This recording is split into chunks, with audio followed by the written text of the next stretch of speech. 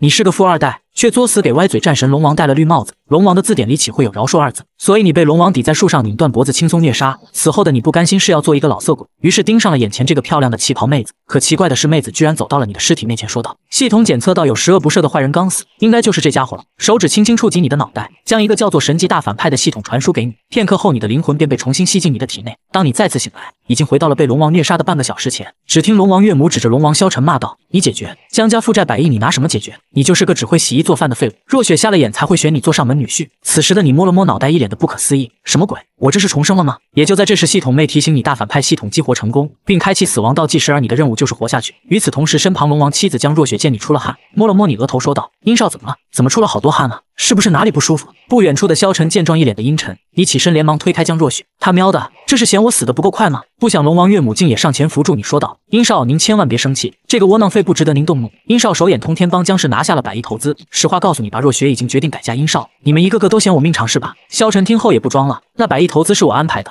龙头公司的萧董正是我本。不料下一秒，江若雪直接给萧晨一个大逼兜，你以为你姓萧就能跟萧董事长扯上关系？掠人之美，恬不知耻，你这样做只会让我更瞧不起你。江家不养没用的废物，你给我滚出江家！此时的你有些绝望，大姐有话好好说，别动手啊！龙王被打，此刻的他歪嘴笑着说道：“好，你们可别后悔。”下一秒，他的身后突然出现三个手下。传闻龙王殿是海外地下世界的第一组织，势力庞大，地位尊崇。龙王手下有三大干将：暴君掌权，财神掌财，阎罗掌命。胆敢忤逆龙王，这百亿合同立刻作废！我一个电话就能让你们殷江两家从江城蒸发。只待龙王一声令下，我便大开杀戒。又是死局，难道我要再死一次吗？不，我不接受！萧晨上前歪嘴对着你说道：“我不接受你的求饶，但我可以给你个体面的死法，是吗？我可不准备向你求饶。你殷家在华夏虽然权势熏天，但在我龙王殿面前却如尘埃，是吗？可我一个电话就能让你万劫不复，哈哈，好大的口气！我倒要看看是谁有这样的能耐，有种你打呀！”十五分钟后，一位身材丰满的女子带着特工队冲进房间，只因你拨打的电话是一万两千三百三十九。龙王的三名手下片刻后都被按倒在地。队长陆曼拿着银手镯走向萧晨，道：“萧晨，你被捕了，你是境外非法组织的头目，早就上了国际红通的通缉榜单。坦白从宽，抗拒从严。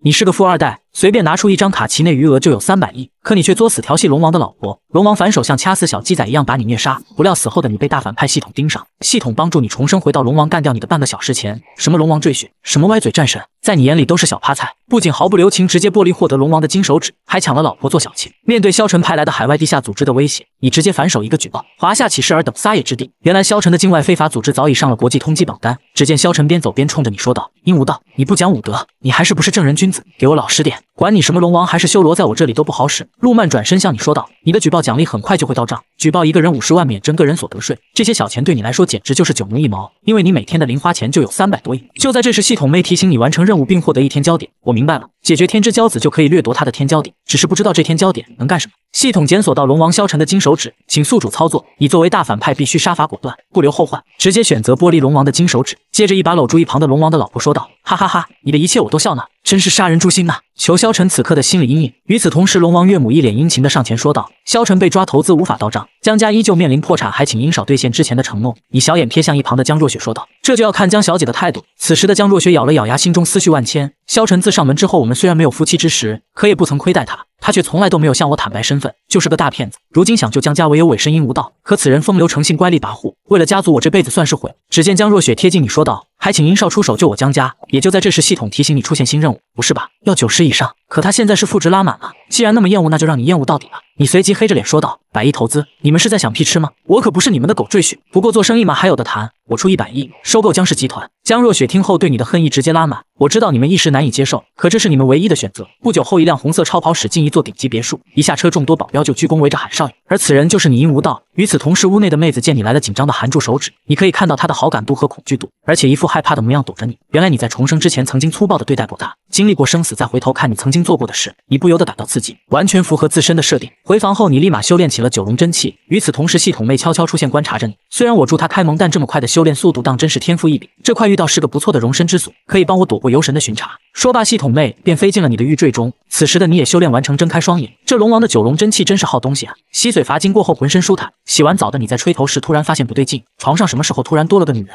你是个大反派，都市兵王上门要把你做成皮球当球踢，只因你想祸害他清纯的妹妹，你直接拿出三百亿甩到他的脸上，表示自己正好缺个都市兵王当保镖。躺在床上的妹子名叫林雨柔，是你重生前在歌舞厅遇到的舞女。江城四少之一的江仁杰表示一定帮你搞定她。你没想到江仁杰这孙子竟然真的把人送来了，交友不慎啊！我这造的哪门子孽啊！与此同时，系统发布新任务：活下去。只见监控内一名壮硕的男子正强闯别墅，不出片刻，数十名保镖全都被打趴下。此人正是兵王林峰。这时你从楼上走了下来。是哪个不长眼的东西，竟敢擅闯我家？老子叫林峰，来找我妹妹林雨柔。若是动了她一根毫毛，我就让你死得很有层次感。你居高临下，一脸戏谑的说道：“你算个屌毛啊！也敢对我大呼小叫！”下一秒，林峰暴怒，一拳直轰你的面门。你们二人双拳碰撞，接着你就被其震飞数米远。好霸道的力量，要是换了从前，我怕是被一拳就打废了。林峰见状，迅速上前掐住你的脖子，说道：“没想到你能接得住我一拳，倒是比其他富二代强多了。但是你千不该万不该，不该动我妹妹。”就在这时，林雨柔一脸担心的冲出，叫住了林峰。原来昨晚林雨柔被坏人欺负，是清雅救了她，并将她带回了家中。林峰听后则表示怀疑，不可能，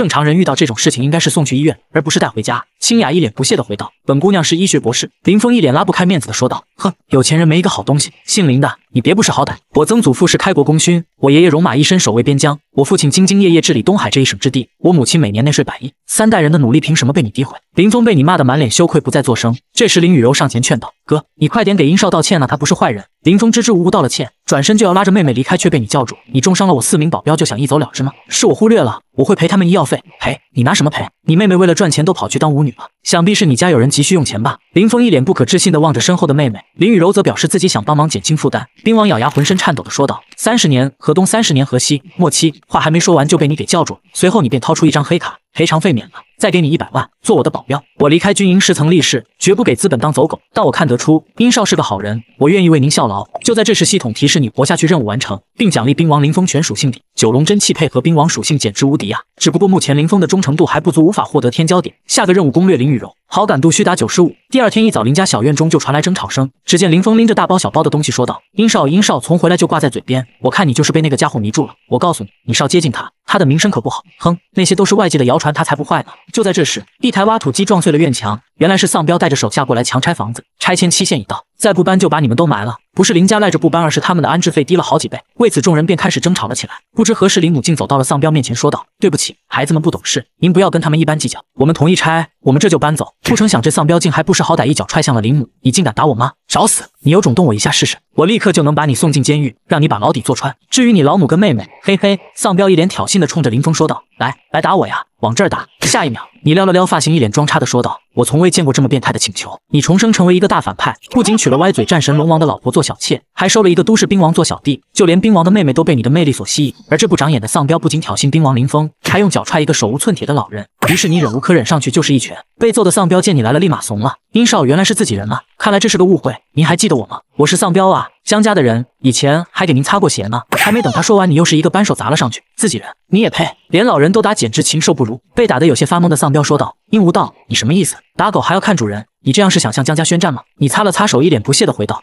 呵呵，你觉得我会在乎吗？”一波操作后，转头再看向身后的二人，收买人心的最好办法，果然还是人前显圣。这时，丧彪吃力的站起身子，说道：“既然殷少要插手，那我做不了主，也只能请江家人出面。”一旁的林雨柔满脸的担心，会不会因为我们给殷少惹上大麻烦？不一会，江家私生子洛风就出现在众人面前。殷家少爷不在会所消遣，怎么来我江家的宫殿？不怕脏了您的鞋吗？竟然是江家前不久刚认回的那个私生子，这么快就出来办事了吗？还是你们江家没人了？洛风也不跟你废话，上去就要锁你的喉。他没想到你一个纨绔却能轻易躲过。这时，冰王林峰闪现至你的面前，说道：“有我在这里，休想伤我老板。”几番交手过后，发现二人竟不相上下。林峰意外对方极为犀利的力道，而洛风则是震惊江城竟有这等厉害的高手。力量上不能快速取胜，洛风决定利用身法优势。鬼魅般的身法让林峰靠眼睛根本无法分辨真身。他选择闭眼静心寻找洛风的破绽，以伤换伤，你一拳我一脚。二人始终无法分出个胜负。此时，一旁观战的你也发觉这洛风只怕不是小角色。就在这时，系统回答了你的疑问：原来这洛风是世界杀手榜第一，尊号修罗，而你的任务就是做掉他。他刚才那鬼魅的身法应该是配合飞刀用的，三十六把刀，林峰能挡得住吗？与此同时，丧彪正拿着扳手悄悄靠近林雨柔。这狗东西应该是想让林峰分心。幸好九龙真气强化了你的六感，提前预感到了危机。不过这倒是你攻略林雨柔的好机会，及时出现在他身后替他挨了一扳手。林雨柔小眼泪汪汪的，十分感动。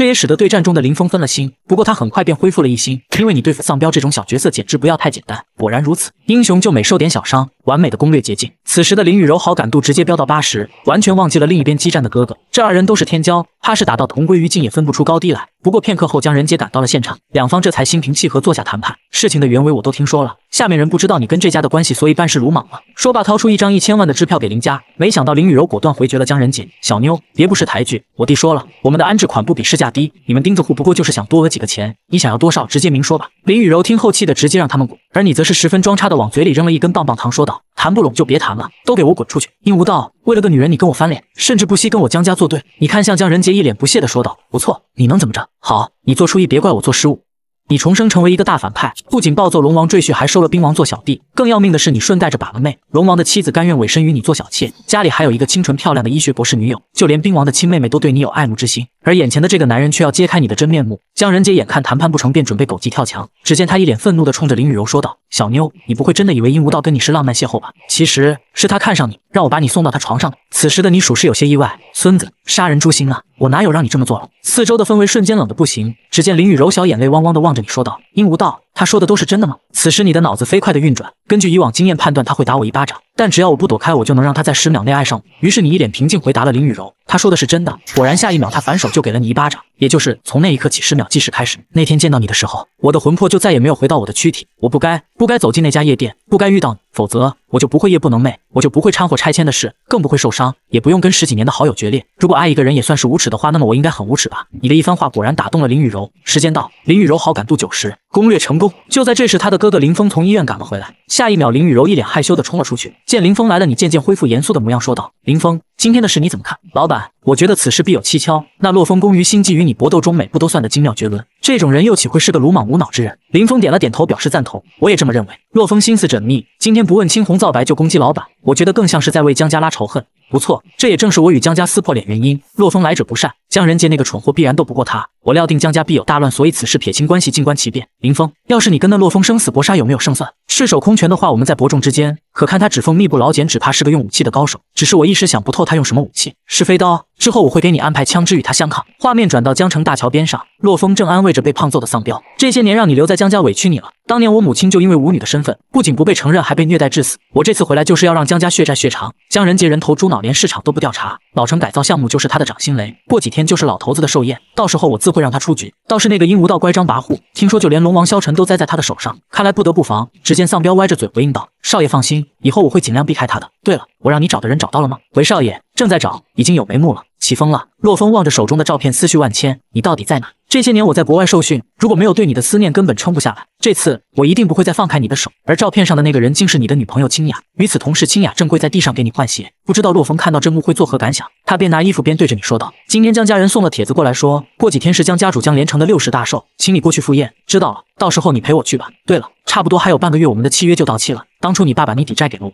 让你做我三年的契约女友，我很感激你这些年对我的照顾。到时我会如约放你自由。”清雅听后忍不住流下眼泪，并对你说道：“准确的说，是十四天八个小时。你是个大反派，世界第一杀手修罗洛风当众骂你细狗，你直接抢了他的女主角苏清雅，搂着一起去寿宴砸他场子。你们一到场，众人就围着苏清雅喊少奶奶。”整得清雅一阵娇羞。与此同时，江仁杰和江若雪也赶到现场。吴道，我听说你干掉龙王萧晨，趁火打劫江氏集团。不过你的如意算盘要落空了。今天的宴会我会正式继承江家，以后我会罩着江氏与若雪。你再敢打他的主意，可别怪我不客气。江若雪一副小人得志的模样说道：“殷无道，没有你，我江氏集团照样能东山再起。你的狼子野心绝不会得逞，而你根本不想听他们扒拉，直接无视二人。”与此同时，铜锣敲响，江家主江连城表示今日要宣布一件重要的事情。只见他手指面前的两个儿子说道：“洛风继承江家新任家主。”此话一出，在场众人无一不惊掉下巴。家主的位置竟然传给了一个私生子，江仁杰更是气得直接指着江连城骂他脑残，老不死的，我看你残的不是腿是脑。下一秒，江仁杰就被洛风一巴掌扇飞出去。父亲寿宴，休得放肆！这时你察觉到身旁的苏清雅似乎有些不对劲，支线任务攻略天之娇女苏清雅。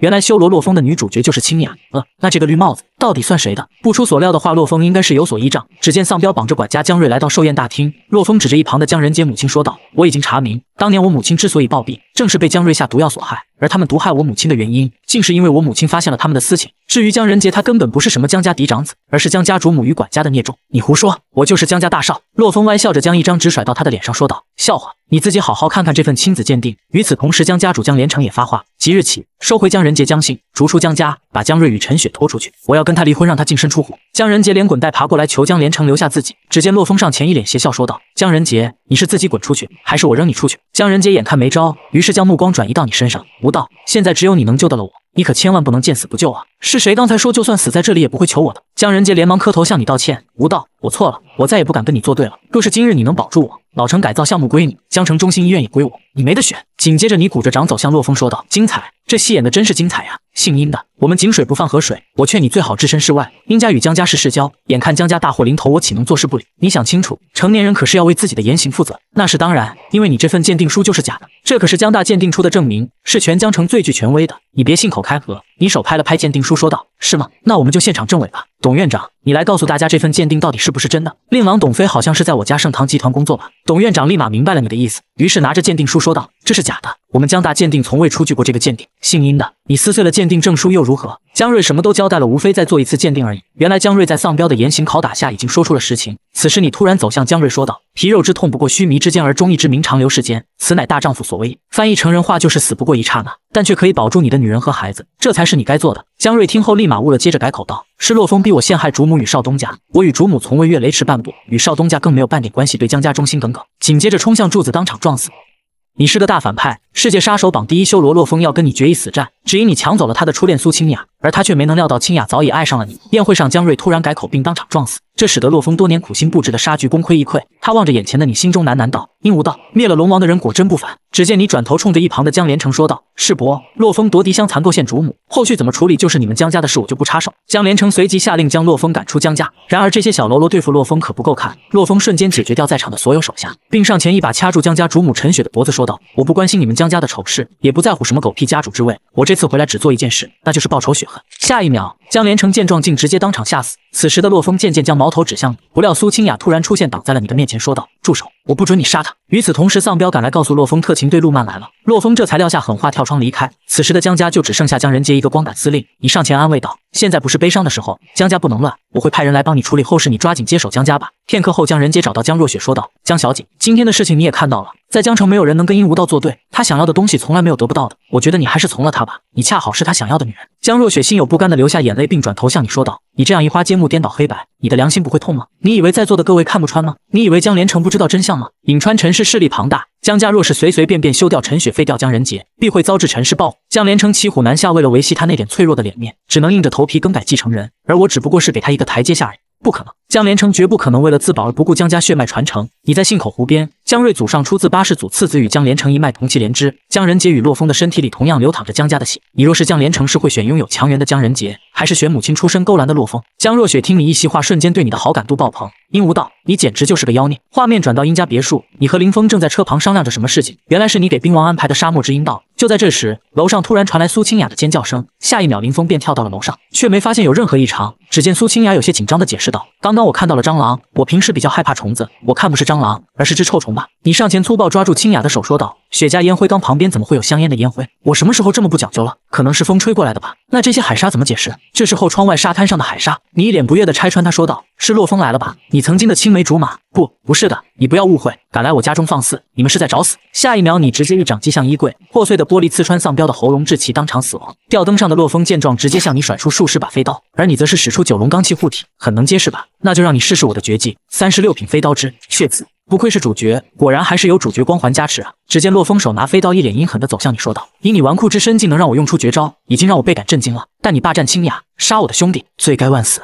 都市爽漫中的男主角要将你碎尸万段，只因你夺了他的初恋，给他戴了绿帽子，你直接剥离他的绝技血莲飞刀。什么？前女友说饶他一条狗命？不可能，你是反派呀！”斩草除根，不留后患。只见洛风一脸阴狠的拿着飞刀走向他，没想到苏清雅再次挡在了你的面前。洛风见状，咬牙，浑身颤抖的说道：“苏清雅，你是不是爱上他了？你爱上了这个混蛋，你背叛了我。我不知道，我不知道自己怎么了，我只是不想他死。”此话一出，洛风更加愤怒了。殷无道，你不止霸占了他的身子，还霸占了他的心，夺妻之恨，杀兄之仇，你今天必死无疑。说罢，便甩出飞刀直刺你的要害。还好兵王林峰及时出现，一枪打掉了飞刀。只见林峰拿着双鹰，不断射向身法鬼魅的洛风。林峰，你堂堂兵王，为何甘于助纣为虐，沦为小人的鹰犬？殷无道，堂堂君子，何来小人之说？倒是你构陷手足，残杀嫡母，逼死亲生父亲。猪狗不如，为虎作伥，一起去死吧！面对迎面而来的数十把飞刀，林峰丝毫不惧。片刻后，所有飞刀均被其射落。此时的洛风飞刀已经全部用尽，不愧是兵王林峰，枪法如神，多谢夸奖。林峰转头向你问道：“老大，想怎么处置他？”这时，身后的苏清雅上前帮洛风求情。只见你粗暴地捏住他的下巴，问道：“你给我一个不杀他的理由。”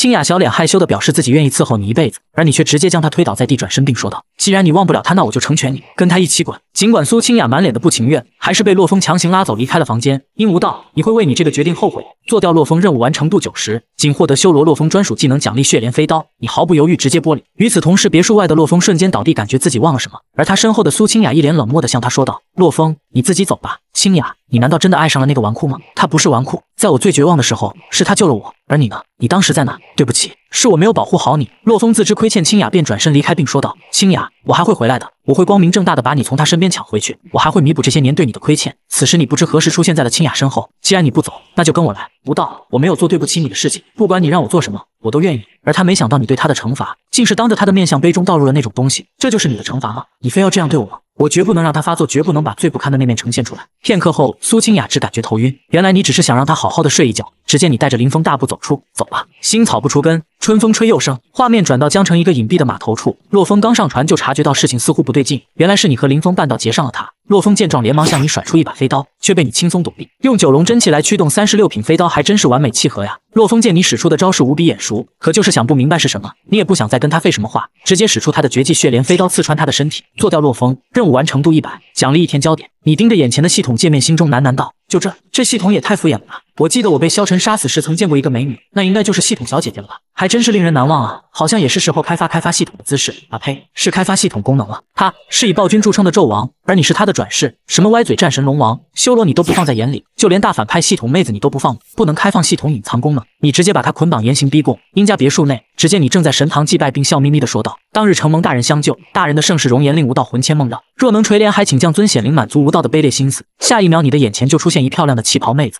我王如此抬爱。那妾身就献丑了。本来想等你解锁王爵时再现身的，如今看你这么虔诚，那就破一回例吧。你一副色眯眯的模样，盯着系统妹，够色，不愧是大反派，我很满意。你擦了擦嘴角的口水，并向其鞠躬说道：“还请将大反派系统的隐藏功能开放，小人不胜感激。”你未免想得太美了吧。系统是要一步步开发的，你只有不断完成任务，满足了开放条件，才能开启新功能。明的不行，只好来阴的了。只见你扯下玉坠，歪笑着说道：“这就是你的藏身之所吧？这盒子连核辐射都穿不透，你这样的灵体应该更不行吧？”说罢，你一个响指，特制的黑幕墙瞬间将系统妹围在其中。这是特制黑幕，光在其中无法传播。你的灵体应该与光的性质相近吧？果然，它无论以什么姿势都无法穿过，就连天花板和脚下也都用了钢水浇筑。你满脸邪笑着走向系统妹，说道：“别挣扎了。”还是乖乖就范开放所有功能吧。系统妹见穿墙不行，便选择隐身。不过你心思缜密，早就料到如此。温度达到绝对零度的时候，世界万物都会被冻住，就连光都不例外。你随即向系统妹显现的位置抓去，没想到抓到的不是脖子，竟是一团软乎乎的东西。抱歉了，刚才你隐身我没看清。画面转到别墅的形室内，只见你嘴里含着棒棒糖，对他说道：“说说吧，这个神级大反派系统到底想在我身上得到什么？”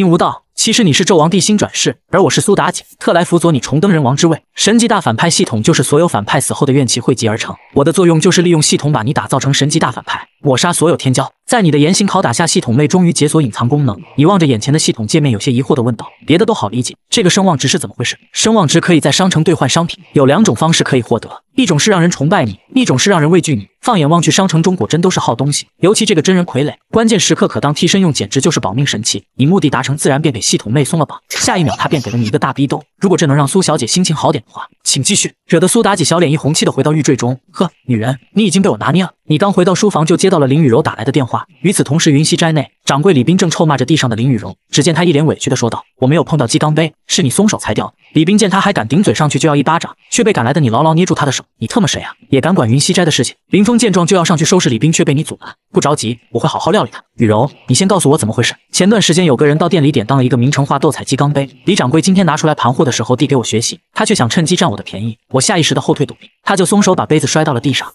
你是个大反派，而眼前这个猥琐老头竟敢污蔑你的女人，你直接带着兵王去砸了他的古董店。什么？老头表示不服，那他的那双手也别想要。林雨柔向你讲述了李斌诬陷他的事实，只见李斌立马手指着林雨柔说道：“小贱人，你敢血口喷人，就是你砸了鸡缸杯，这个锅你不想背也得背。”见状，你不由得歪嘴笑道：“好大的威风！你现在有多嚣张，等会就有多狼狈。”与此同时，古董店门口正站着一个女主播，用手机实时直播着店内的一举一动。这时系统提示你获得凤姐的青睐，声望值加一，看来是被现场直播了。也好，正好用来积累声望值。于是你向前对李斌说道：“不是有摄像头吗？到底谁摔坏的？一查便知。抱歉，很不巧，摄像头坏了。”你勾了勾手指，让他身后的员工过来。两沓子大钞直接甩在桌子上，说道：“告诉我真相，这些就都是你的了。”一旁的李斌见状，一脸的紧张。小张，该说的说，不该说的别乱说，别因为一点小钱乱了方寸。紧接着，你又丢下几沓子大钞，说道：“再不说，我就给其他人了。”不出片刻，员工就找来了李斌摔碎杯子的监控。这下人证物证都在，李斌百口莫辩。你直接下令让兵王打扫一下屋子。只见林峰拿着棒球棒，几乎把店内所有古董砸个稀巴烂。你们疯了？你们知道这是谁的生意吗？贱人，快让他住手，否则我整死你！你一把死死捏住李斌的鸡爪子，说道：“我忍你很久很久了，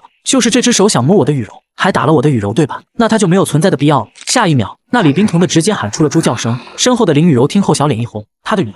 吴道哥哥好霸道，好帅。与此同时，系统不断传来声望值增加的消息。另一边的女主波波波间也到达五万人在线观看。不过，寻潇潇还是有些担心，好像真的不是剧本那个人的手指真的断掉了。我要不要报警？就在这时，一个女人的声音打断了李斌的嚎叫声：“大小姐来了！你们这些混蛋今天都要死！”鹦鹉道：“你这个渣男竟然还没死，没天理啊！”白云溪，你家老爷子还没死呢，你就当董事长了。下一秒，你们二人竟嘻嘻哈哈的抱在了一起。这幕把一旁的李斌吓得合不拢嘴。只见白云溪姿势优雅的坐在椅子上，说道：“说说吧，到底是怎么回事？”事情就是如此，视频为证。我的人吃了亏，需要你给我一个交代。白云溪点头回应，表示明白了。他走到跪在地上的二人面前，说道：“张店员，你拿着钱走人吧。卖主求荣的事情做一次就够了。古董这行以后就没你的立足之地。至于你李斌，你这身鉴宝技术是世家传承，加上你天赋上佳，我本有意培养你做我白家的大掌柜，可是给你机会你不中用啊。”紧接着就是一脚踹进李斌的嘴里，说道：“碗你都拿不住，要这双手干嘛？来人，给我砍了！”随后转头向你说道：“吴道，这个交代可以吗？”你看了看身旁的林雨柔，而她则是一副受宠若惊的表示可以了。与此同时，你的声望值已达到二十一万点。你随即站起身子，走向白云溪，说道：“这鸡缸杯最起码价值好几亿，或许我可以帮到你。当真？若你真的帮我这个忙，云溪斋这家铺子便送与你。”这时，身旁的林峰却是一脸的不解：“老板，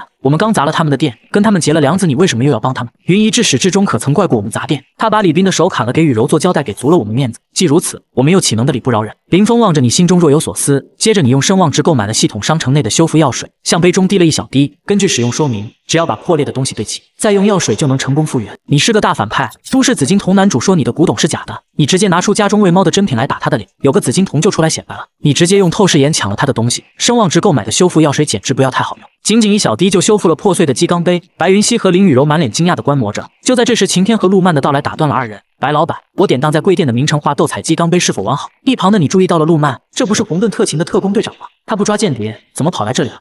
他怎么在这里？可别给我暴露了身份！云姨有些紧张的向晴天介绍着鸡缸杯，还请秦老板放心，我这里所有的古董都碎了，您这件也不能碎。而晴天见状则是有些意外，这确实是我的东西，可为什么会完好无损？这不科学呀！他身后的陆曼这时小声说道：“你不是在晚上动过手脚了吗？会不会这是假的？”这晴天也是个老手，只见他拿起鸡缸杯，一脸平静的说道：“跟我玩偷梁换柱啊？这不是班门弄斧吗？”陈化瓷经过五百年的岁月洗礼，斗彩艳而不浓，内敛且雅致。杯壁之上云雾遮盖，随处可见小气泡，而这个赝品色泽浓俗，气泡全无，完全就是件现代工艺品。此时的云姨有些不知所措，我明明看着吴道亲手修复的，怎么会变成假的？晴天则是满脸得意的坐下，对白云溪说道：“白老板，你玩这出可太不讲究了。按照规矩，你得赔我十倍的价格。我晴天向来不会为难女人。这样吧，你把这家店盘给我，咱们这事儿就两清。给银无道也是给，给晴天也是给，不如顺水推舟，了结了此事。”白云溪刚想答应，却被你阻拦。没错，这鸡缸杯确实是假的。既然你们承认造假，那何须多言？立刻把云溪摘给我。我说这鸡缸杯是假的，可没说是我们造假，因为造假的是你。晴天听后明显有些激动，别张口就来，小心我告你诽谤啊！普天之下，明成化斗彩鸡缸杯共有十九盏，其中仅有四盏为私人收藏。对也不对？不错，我的那盏就是流落在外的那盏。真是老太太钻被窝给爷整笑。你接着命兵王林峰去别墅后花园去拿那个喂猫的碗。与此同时，主播寻潇潇正在外面偷拍着，他直播间此时的人气只增不减。很快，林峰就抱着喂猫的碗回来了，放在桌子上一看，果真是一模一样。晴天表示不服，直接开启紫金铜一辨真假，竟发现这个喂猫的碗居然是真品。晴天刚想收回自己那只假的典当品，却被你一掌拍碎，并说道：“按照规矩，你这赝品应该销毁。”晴天见状，只好灰溜溜的离开。陆曼经过你身边时，小声说道：“混蛋，坏我正经事！正事？什么正事？这背后似乎隐藏着什么玄机。”白云溪则是一脸气愤的说道：“一个外省仔竟敢算计到我白家头上！来人，给我追，把这个晴天四肢打断沉江！”云姨，切不可鲁莽。这晴天的底子我虽不清楚，可他身边那个女的身份特殊，绝不可招惹。白云溪听了你的建议，并如初将古董店送与你，你反手就把合同递给了身边的林雨柔。雨柔，你学的是古董专业，术业有专攻，我借花献佛，这家古董店就送给你了。与此同时，你的声望值忽然猛加。看来直播真是收割声望值的好路子。林雨柔小脸满是欢喜，还沉浸在拥有一家古董店的快乐中，而你则是用声望值购买了透视眼。晴天放着几十亿的赔偿不要，而单单只要这家店铺，就算是被我砸了，他都那么稀罕。要说这店铺里面没有宝贝，鬼都不信。说罢，你便开启了透视眼，果真在店内不起眼的旮旯角落发现几箱宝贝。不过林雨柔手中的宝贝也挺白的。都市天骄憋宝传人竟敢偷你的古董，作为反派的你直接把他揍到怀疑人生。可你没想到他竟能用紫金瞳摄魂控人。画面转到云溪斋，不远处的陆曼和晴天正观察着店内的一举一动。镜头中出现的人正是你和林雨柔。只见陆曼有些担心的问道：“我们的计划不会被耽搁吧？上面催得很急，你就放心吧。我既然已经答应帮你了，那这件东西保证跑不掉。我们再等等，切莫操之过急。”与此同时，你和林雨柔正享用着丰盛的晚餐。林雨柔笑嘻嘻的拿出一瓶药酒，说要给你补。晚饭后的你趴在地上找着白天看到的机关。此时的林雨柔已经喝醉了，只见她色眯眯的趴在你背上说道：“吴道哥哥，你真的好帅！单纯温柔的美少女，竟然酒品这么差。”耍起酒疯来，简直性情大变啊！你们二人拉拉扯扯，不小心关上了灯。片刻后，晴天和陆曼就翻窗进入了室内，二人丝毫没有发现趴在地上的你们。陆曼环顾四周后说道：“晴天，白天的时候我已经观察过，没有发现机关。你知道怎么取宝？对于晴天来说，只需要开启紫金瞳即可。不出片刻，晴天就找到了机关的所在之处，轻轻按下开启机关的按钮，映入眼帘的是好几箱闪闪发光的宝。只见陆曼拿起一件麒麟文物，说道：“不错，就是这件景泰蓝麒麟，与照片上一模一样，是前不久被劫走的那批东西。按照说好的，我只取一样，其他的归你。”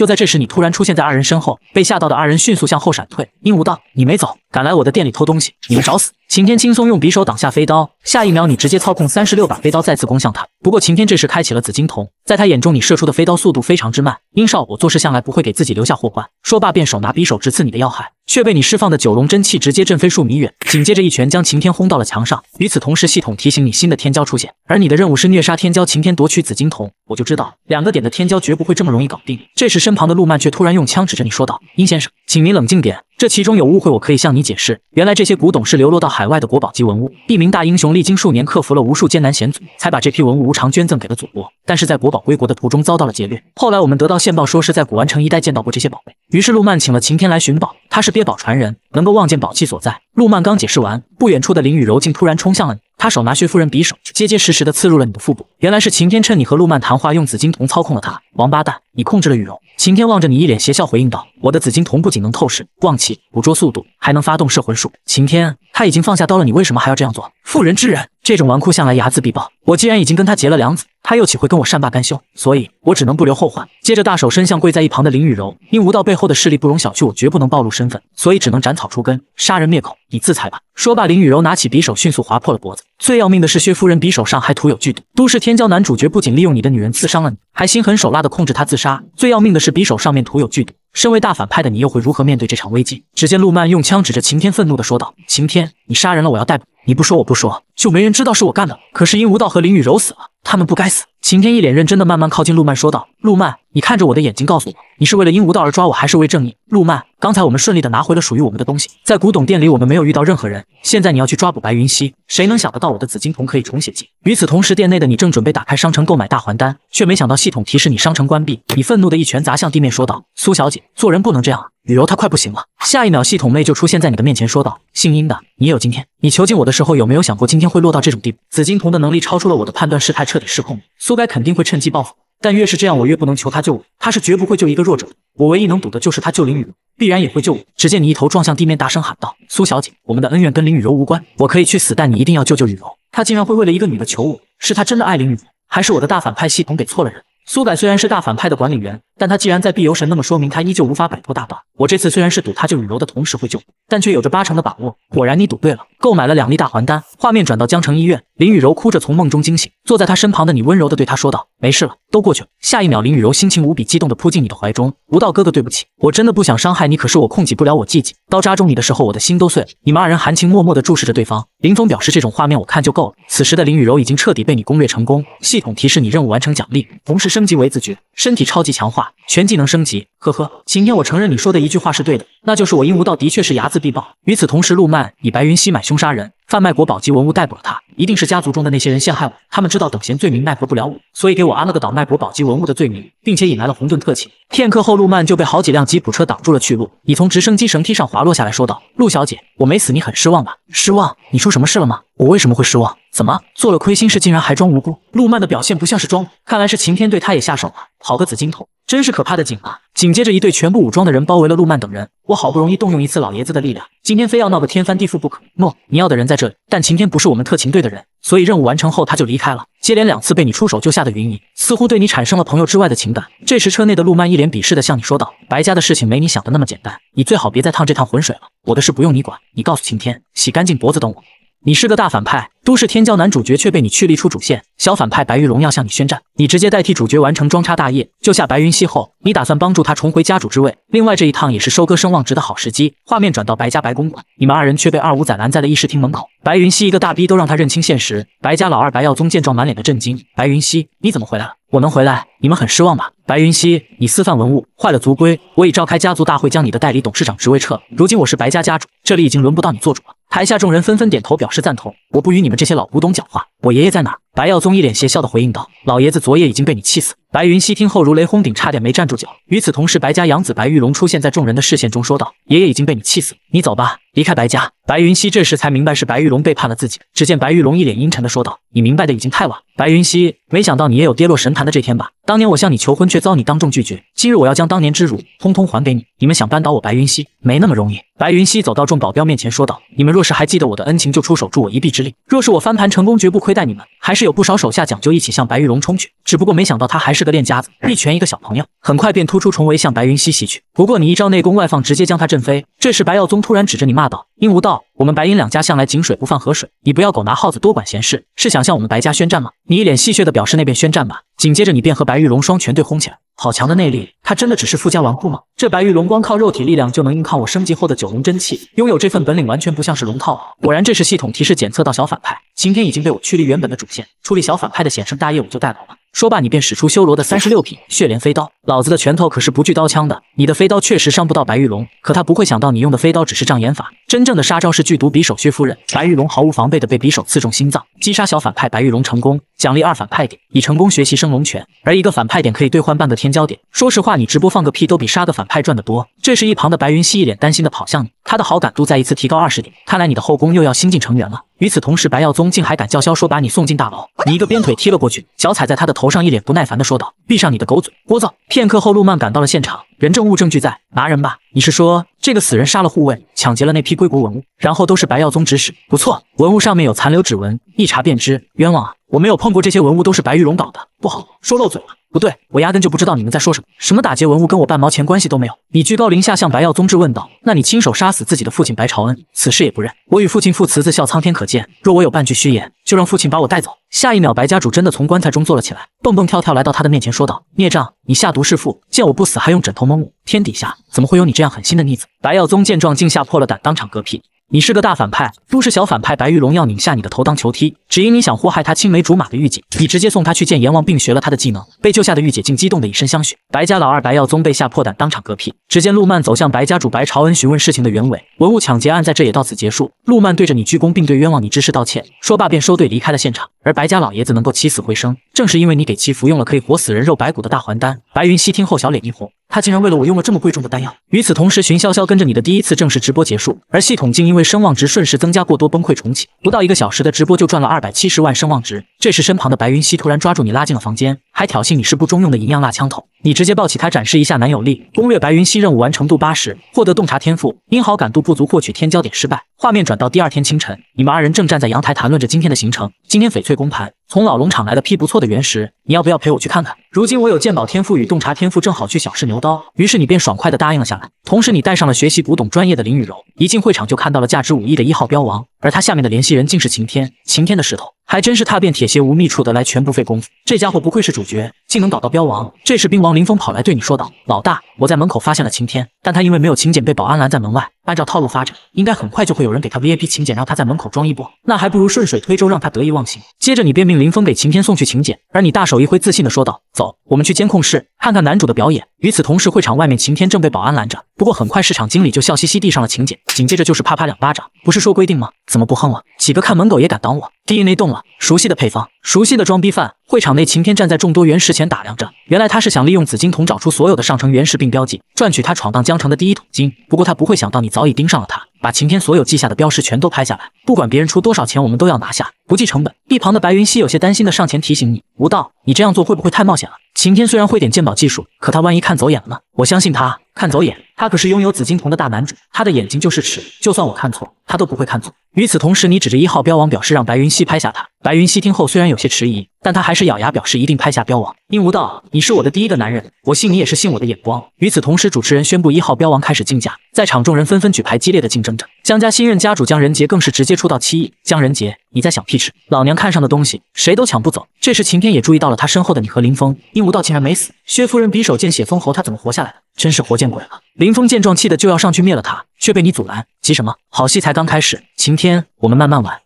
这是一块普通的石头，而你竟开出了世间罕见的绮罗玉，哪怕是保守起价也要几百亿起步。就在白云溪自信满满以为要拿下标王时，身后便出来一男子表示要出八个亿。此人正是江城四大家族之一的姬家姬无极。云姨，我知道你们白家很需要标王，但我家老爷子下了死命令，对不住了，那恐怕这次要让老爷子失望了。八亿五千万。不远处的晴天一副小人得志的样子。对，就是这样。你们狗咬狗，满嘴毛，到时候老子渔翁得利。这时你上前直接让白云溪加到十个亿。他听后下意识的就举起了牌子。来之前公司的专家们都计算过，这块石头最大的价值也不过八个亿。我竟然真的听他的举了十个亿，我是疯了吗？不懂事的姬无极和江仁杰刚想加价，却被你的气场吓得缩了回去。江仁杰自然不敢跟你放肆。无极哥，我看你在朋友圈对我那个鸡缸杯很感兴趣，不如我评价让给你。姬无极听后收了手，笑嘻嘻的说道：“那就多谢无道了，我也退出。那么接下来就是切石头的环节了。正所谓一刀穷一刀富，一刀穿马步。如果三刀切不出绿，那这块石头基本上也算是废了。”白云溪自幼便跟着爷爷学习，自然知道从哪个地方下刀。画完线后，白云溪便吩咐工作人员开刀，第一刀下去全白。第二刀下去全白，完了完了！鹦鹉道，我真是信了你的邪。白云溪正想再切第三刀时，却被晴天打断了。白小姐，如果再切却不出翡翠的话，标王就一文不值了。我出两个亿买你剩下的石头。此时的白云溪心中已经开始动摇，这石头半点没有出翡翠的迹象，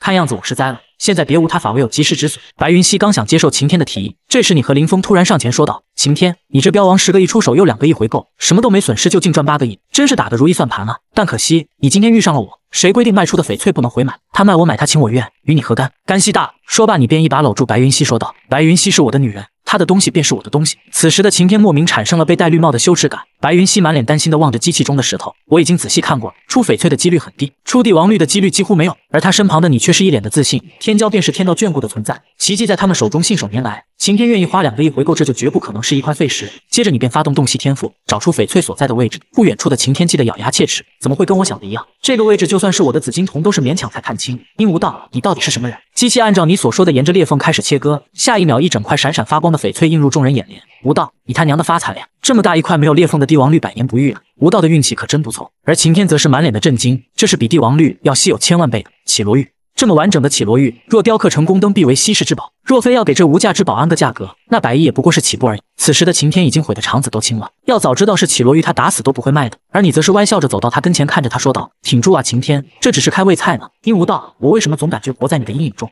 你是最败家的大反派，别人泡妞都是买包包送豪车，而你则是直接送价值几百亿的绮罗玉翡翠。只见你勾起白云溪的小下巴，说道：“那整块绮罗玉都是为你准备的。”一旁的江仁杰二人听后直呼败家玩意，而白云溪则是激动的捂住了嘴巴，下一秒直接踮起脚尖送你个香吻。不远处的晴天捂着胸口，只感觉一阵刺痛。为什么我的心会这么痛？明明白云溪跟我没有任何关系，我却感觉像是在承受夺妻之恨。这时林雨柔抱着翡翠，满心欢喜的冲向你，却看到你和白云溪的这一幕，接着小眼泪汪汪的大骂你是个渣男。吴道，你不去追你的小女友吗？而你却一脸的淡定的笑道：“我可不想做卑微舔狗，毕竟舔到最后可是一无所有。”公盘大会结束后，人们纷纷离场。林峰望着即将离开的晴天，向你提醒道：“老大，要不要我现在去干掉他？这次就不用你出手了，我亲自料理他。”一辆快速行驶的轿车内，姬无忌有些担心的问向一旁的叶雪：“雪儿，你说阴无道与白云溪联手，会不会对我们的计划产生影响？没有拿下标王，老爷子会趁机向你发难，这就是目前最大的影响。看来我们要改变一下计划。”就在这时，晴天竟突然出现，挟持叶雪，并说道：“我没别的意思，不过是想借你们的车躲避仇家。二位得罪了。”画面转到江城郊外某处，叶雪递给晴天一瓶矿泉水，并说道：“天气热，喝口水吧。我相信你，你一定会东山再起的。等你回来报恩哦。”晴天对此也特别的谨慎。虽然我长得很帅，也经常遇到美女献殷勤，可我不能不小心，我必须要看穿他们的想法。说罢，便发动紫金瞳对二人进行读心，这才放心喝下了水。而他不会想到，你料事如神，早已送了叶雪一副特制美瞳，来躲过晴天的读心术。明白这一切的姬无忌不禁提醒叶雪，最近因无道行为处事大变，和他交易十分危险，你最好离他远点。这时你也从室内赶过来，而叶雪对你的态度却十分的冷淡。我答应你的事做到了，你答应我的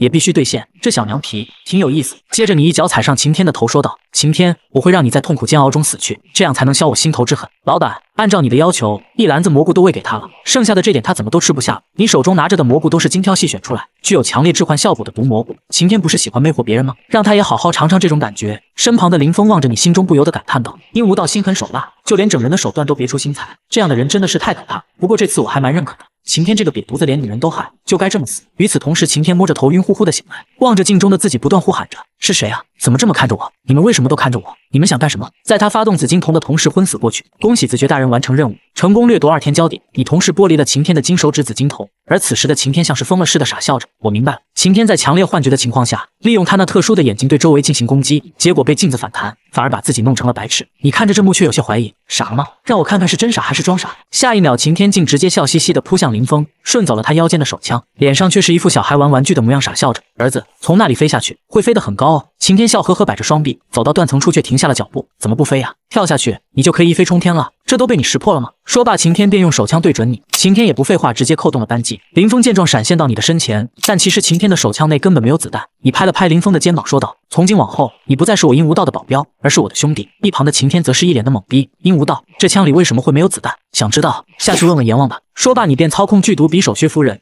无情的在他身上跳着舞。最终，晴天一脚没站稳，坠下了楼。自觉大人任务完成，出色触发额外奖励，发放龙金虎猛丸两颗，由龙之精虎之血熬炼九九八十一天而成，福之铜皮铁骨，力大无穷，有无上妙用。你递给兵王林峰一颗吃下，只见他全身开始发烫，感觉忽然有了使不完的力气。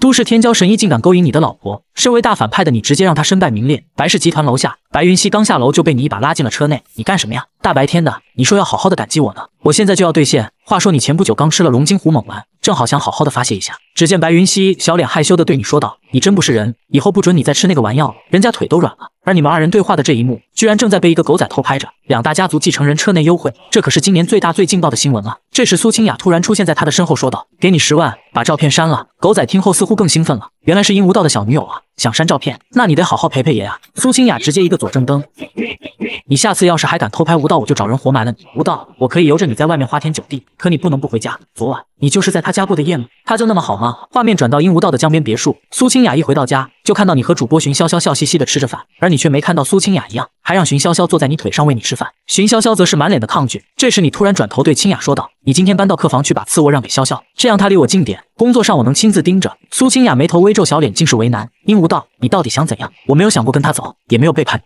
我全心全意的服侍你，为什么要这样对我？哟，长脾气了，要造反吗？你不是一直想去工作吗？给我滚去中心医院做你的医生去！什么时候知错了再回家？苏清雅小眼泪汪汪的看着你，接着头也不回的跑开了。你深深叹了口气，无力的坐在椅子上，也知道洛风的事他一点错都没有，可就是忍不住的生他的气。身旁的寻潇潇看你的状态，立马明白，因为你爱他。爱得很深，所以你在跟他故意赌气。你嘴上说自己是万花丛中过，片刻不沾身，可第二天醒来，第一句话就是叫清雅的名字。你已经习惯了苏清雅照顾你的日子。当你听兵王林峰说起苏清雅在医院和男医生的八卦时，却是一脸的紧张。看来我有必要去一趟医院了。江城中心医院内，你先是找到了在医院照顾母亲的林雨柔，而她见到你却是满脸的鄙视。林母的情况不容客观，神经外科专家韩正贤都没把握手术成功。与此同时，苏清雅走过来对众人说道：“我已经通知了我师兄杨凡，他的针灸超凡入圣，或许可以依靠中医手段治疗。”看到你在，立马气鼓鼓的扭头看向一边，没想到这小妮子穿制服的样子这么诱人。早知道就在家玩制服诱惑，而眼前的这个男人就是苏清雅口中的小神医杨凡。你看着二人有说有笑的模样，心中很是不爽。接着就是一脸不服的向前说道：“正所谓有教无类，方能大浪淘金。若是广设中医大学，加强各派交流，撇开祖传观点，各名家不吝赐教，再以科学之言解析经络穴位之说，不出十年，华夏遍地神医。你是何人，竟敢口出狂言？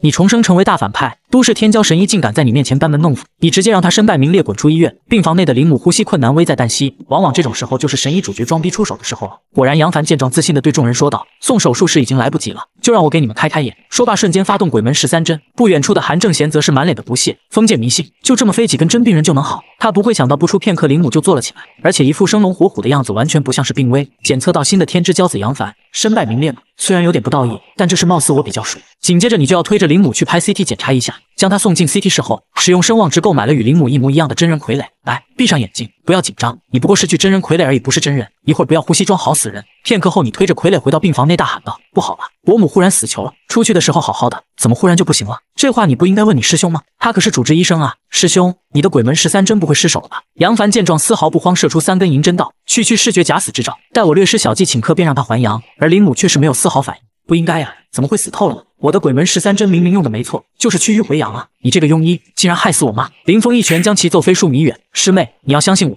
真的不是我的问题。说罢便指向你说道：“是殷无道，他是最后接触患者的人，一定是他捣的鬼。”住口！我错看了，你也对不起林伯母。发生了这么大的医疗事故，你等着被处分吧。另一边，林峰和林雨柔无力的跪在地上，求你救救林母，起来吧。其实无论你俩任何人求我，我都会全力以赴，更何况你们一起求我。接着你歪嘴小声对林雨柔说道：“不过雨柔，你可要说话算话呀。”嗯，我再也不争风吃醋。与此同时，杨凡则是对你狂笑道：“这天底下怎么可能有起死回生的药？就算是最逆天的小还丹，也不过是聚气凝神，续命延年。不好意思，我有家传大还丹，恕我不能让诸位围观。你们在此稍后片刻，我去去就来。”只留下杨凡一脸震惊的望着你的背影。难道这天底下真有能活死人肉白骨的大还丹？出了门，你直接回收了真人傀儡，紧接着接回了做完 CT 的灵母。众人见状，全都震惊的合不拢嘴。杨凡则是被你一脚踹出中心医院，滚吧！以后不准你再来中心医院，否则打断你的狗腿。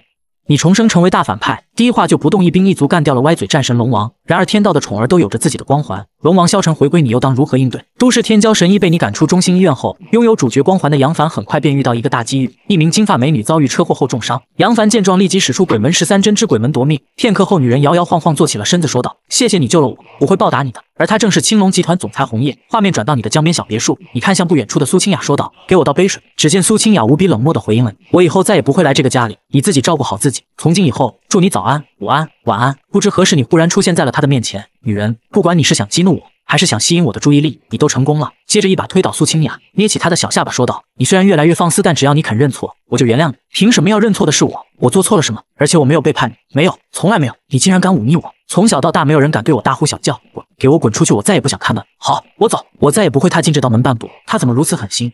他怎么突然这么听我的话？之前不是要跟我对着干吗？你突然转身叫住了他。此时的苏清雅小眼泪汪汪的，很是让人心疼。同时，她也转身一下子扑进了你的怀中，说道：“吴道，我一直等着你开口挽留我，因为今天过后合约到期，我就再也没有留下来的理由了。我不要你走，我要你陪在我身边一辈子。那种画面我知道你们不喜欢看。此时的苏清雅对你已经是至死不渝。这时她突然想起自己手里还有狗仔偷拍你的视频，你拿起储存卡表示是故意让狗仔偷拍的。原来你在龙都有个指腹为婚的未婚妻，而且听说是什么天下第一才女，但你却从未见过她，所以你希望通过绯闻能让她主动退婚。苏清雅感动的扑进你的怀中，说的我差点就信了。清雅。这卡你就帮我邮寄到龙都吧。攻略苏清雅任务完成，奖励二天焦点。现代医学天赋，这就是现代医学知识点吗。如果拿下杨凡，得到了古代医学与现代医学结合起来，我岂不是天下第一神医？就在这时，苏妲己突然出现在你的面前，说道：“殷无道，你要明白，你对付的这些人都不简单，他们都是天道的宠儿，每个人都有自己的光环。林峰被我降服，洛风与晴天已经凉透了。如果说有变数的话，那么唯一的变数，龙王萧晨。与此同时，陆曼找到了监狱中的萧晨。萧晨，听说你愿意戴罪立功，不错，我可以帮你们除掉海外的麻烦，但条件是放我出去。好，我可以答应你，但你不能为难举报人殷无道，否则你还会进来。殷无道，呵呵，我可真有点想你了呢。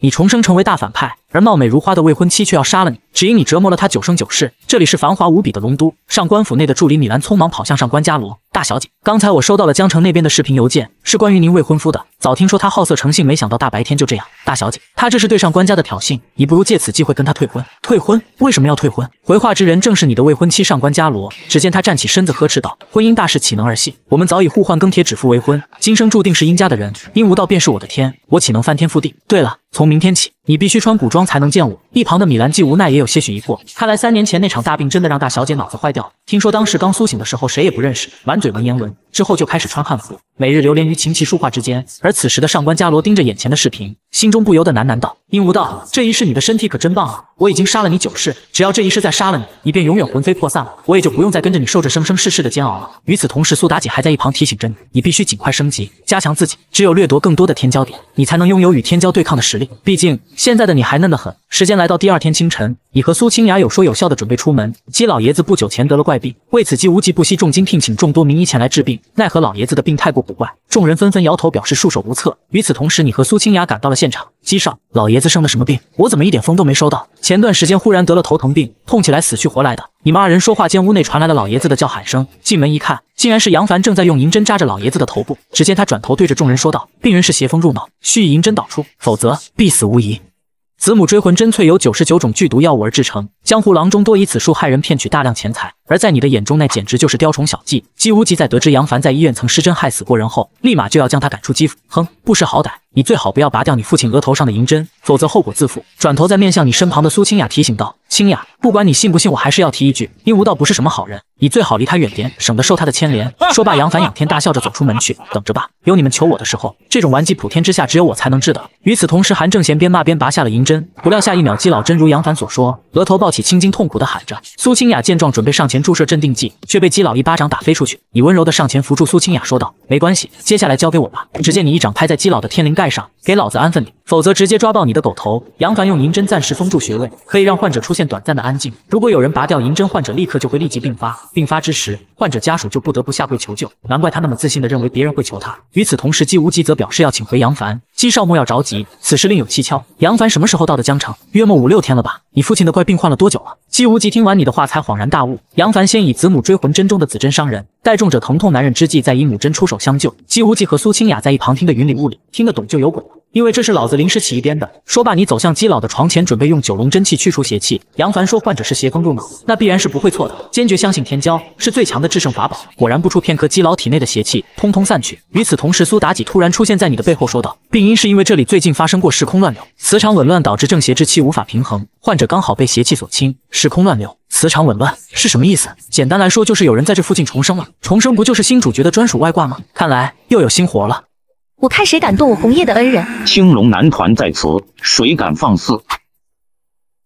摘叶飞花，内劲外放，这是先天境高手的表现。是谁？喂喂喂，差不多得了。你是何人？也敢插手我青龙集团的事？在下鹦鹉道，我前不久被都市天骄歪嘴战神龙王所杀，不过却因祸得福，获得了大反派系统重生，并反杀了龙王。接下来我的任务就是干掉所有天骄主角，成为都市爽文世界中最强的大反派。现如今都市天骄神医竟敢调戏我的老婆，我要让他彻底身败名裂，滚出疆场。在帮姬老去除完体内的邪气后，我借机开始挑起姬无极心中对杨凡的怒火。姬少，杨凡设局算计姬家，害得老爷子疼得死去活来。这等无品无德的医生，你准备留着过年吗？区区杨凡也敢在我姬家头上撒野，若不收拾了他，岂不是让人笑我姬家无能？来人，所有人听令，打断杨凡双腿双脚，扔出江城。这种没有医德的骗子，我绝不会让他好受。是我看向一旁的苏清雅，淡淡说道：“怎么舍不得了？”不是，只是我没想到，曾经那个对中医怀有赤诚之心的师兄，怎么变成了这样唯利是图的小人？这种没有医德的骗子，我绝不会让他好受。我会通告全国，将此人的罪行揭露，让中医界剔除这个败类。我要让他身败名裂。与此同时，数名黑衣人正跑向一名白衣青年。杨凡还以为这是姬家请他回去的人，没想到 下一秒就噼里啪啦挨了一顿打。其中一名手下正想废了他的手。我看谁敢动我红叶的恩人！青龙男团在此，谁敢放肆？摘叶飞花，内劲外放，这是先天境高手的表现。是谁？喂喂喂，差不多得了。你是何人？也敢插手我青龙集团的事？在下应无道。红叶，你好大的威风，竟敢跟姬家作对！我当是谁呢？原来是姬家的驼养习叶雪啊！怎么，姬家什么时候轮到你做主了？这你不用管，他可以做主。两位能否看在我红叶的面子上，放过杨凡？红叶身旁的杨凡则表示自己是被冤枉的，就是他害得我身败名裂。上次那个老太太肯定是假死，以我的医术绝对不可能治死人。我要是多点耐心，他的奸计就不会得逞。我笑了笑，面向杨凡说道：“ 是又如何？你已死了人的事早已经是人尽皆知，庸医之名已然注定。如今你再怎样叫也改变不了既定事实。现在的你，在我看来不过是无能的狂吠罢。”你重生成为大反派，一天的零花钱就是十个亿，而你却对钱丝毫不感兴趣。价值千亿的绮罗玉翡翠直接送妹子，更有无数天骄女主抢着倒追你。这次你的对手是都市神医杨凡，面对你话语间的嘲讽与挑衅，杨凡忍无可忍，瞬间发动鬼门十三针。你一脸淡定的手持匕首将其尽数斩下，他竟然能轻松破解我的飞针术，这人到底什么来头啊？既然你这么行，那就来破解一下暗器排行榜第二名。仅次于孔雀翎的暴雨梨花针。说罢，杨凡冲你发动暗器，而你则是歪笑道：“呵呵，你觉得我躲不开吗？”接着，你的身影如同鬼魅般消失在原地，下一秒，薛夫人就架在了杨凡的脖子上。你是怎么过来的？兑换瞬间移动成功，消耗声望值一百万。上次不是只剩下二百七十万声望值了吗？怎么越花越多？原来荀潇潇一直在旁边现场直播，声望值这才源源不断的增加。与此同时，红叶见状冲上来救下杨凡。小姐姐，看准了再砍哦！红叶不甘示弱，再次向你冲来。你们二人兵器一短，一长，打斗十分激烈。小姐姐，我愿跟你贴身肉搏三百回合，你可别喊受不了哦！登徒子想近我的身，没那么容易。红叶手放在背后，迅速将刀换手。即便如此，面对你鬼魅般的身法也是没辙。而你则是拉远距离使出三十六品血莲飞刀，就这还先天境高手。他不会想到你射出的飞镖只是幌子，抵挡飞镖的片刻间，你已经瞬间到了红叶的背后。妹妹，刚才我就是用这招制服的杨凡，你怎么就没吃到教训？红叶见状，只能丢下刀，表示自己输了。他的眼里既有害怕，也有几分崇拜。嗯红叶有了好感度。既然如此，那我就恭敬不如从命了。说罢，你直接对着红叶的红唇亲了上去，而他则是一脸的震惊与娇羞。你疯了吧？士可杀不可辱，你亲我干嘛？你歪笑着回应道：“不是你说的悉听尊便吗？”你重生成为大反派，都市天骄女主要砍了你的守卫狗，可她却不知你是汉流王的亲外孙。冷不丁被你强吻的红叶满脸的震惊，接着便用小拳拳给你按摩起来，还挺甜。以后见你一次亲一次。不远处的苏清雅一脸的无奈，按照我的经验，她是逃不掉的。我可能又要多一位姐妹了。而杨凡头顶自然则是戴上了一顶绿帽子。只见红叶对着你娇斥道：“我可以不计较这件事，但杨凡对我有救命之恩，我今天必须带走他。”你摆了摆手，表示请自便。可就在杨凡跟着红叶刚要离开时，却注意到了一旁咳嗽的叶雪，随即一根丝线便缠上了叶雪的手腕。秋风初起便不耐，这莫不是红姐姐寻找已久的太阴体质？叶雪和姬无极听后顿时面露难色，到底还是被发现了。果然，我还是改变不了任何事。说罢，杨凡收回玄丝，对身旁的红叶说道：“红姐，他就是你要找的人。”此时的红叶已经按捺不住心中的怒，没想到你这个煞星就在眼前，我差点就错过了。随即便挥刀一刀劈向叶雪。千钧一发之际，叶雪竟抬头大喊道：“殷无道，兑现交易吧！”下一秒，你瞬间移动，挡下了这致命的一击。叶小姐未卜先知，殷某人佩服佩服。翡翠公盘那天，叶雪主动提出帮我解决晴天，条件是我要救姬家一次。当时还未有半点征兆，可他便料定姬家未来有难，这显然有备场。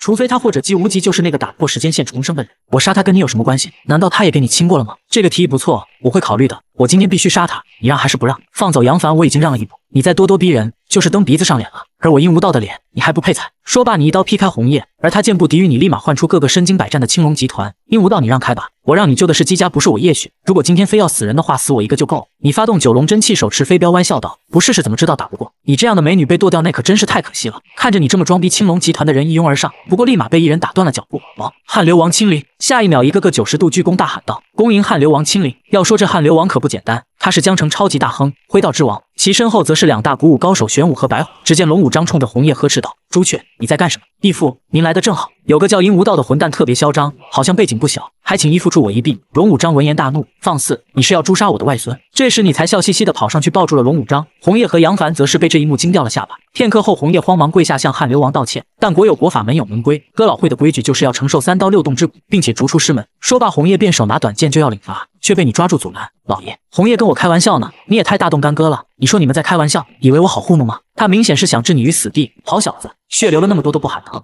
有赢家男人身上那份血性。你转身对红叶眨了眨眼睛，说道：“我们真的是在开玩笑，刚才我们俩还亲嘴了呢，他怎么可能转身就要杀我？对不对？”红叶亲嘴，我不信，亲一个我看看。你上前搂住红叶，并捏起她的小下巴，说道：“红姐姐，你也不想被三刀六洞吧？”下一秒便对着红唇含了上去。与此同时，红叶对你的好感度直冲八十大关。新任务下发：攻略天之娇女红叶，任务奖励天骄五点，十八般武艺样样精通，竟然有五个天骄点，这女人身上到底藏着多少机缘？龙武章见状也不再为难红叶，而身后的姬无忌和叶雪对你又添了几分崇拜。我们暂时安全了，可你的上一世有见过这种场景吗？姬无极回应表示为所未闻，他上一世对殷家的听闻与这一世相差非常大。这时候，殷无道已经被萧晨杀了许久，龙王殿也与殷家全面开战。就在未来几日，殷无道的母亲龙小兰。在国外视察时遭遇袭击身亡。龙武章在为女儿与外孙报仇时被设计抓住了把柄。后来他为了不连累殷家而饮弹自尽。可是萧晨并没有放过殷家，接着利用龙武章昔日的黑料大做文章。不久，殷无道父亲宣称病退，殷老爷子也突然病故，殷家派系或被查或被杀。偌大的殷家在半年内便轰然倒塌。而萧晨却因此名声大噪，龙王之名响彻华夏。那红叶呢？